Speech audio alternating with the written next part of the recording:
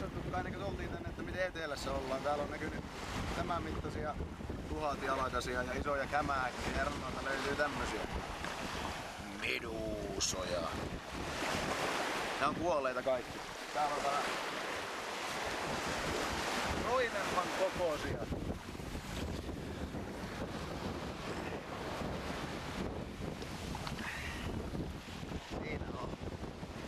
vähän niinku silikonia, niin itse asiassa just niinku silikonia. Mutta ei nää kyllä mitään pahaa tee, tai sitten se iskee yöllä joku kauhia. Niin medusa riippuu, kun tulee tämmösiä pyykkuja, lähtee uimaan vielä. Tämä on. Tämä mahtavaa. Aika roikale.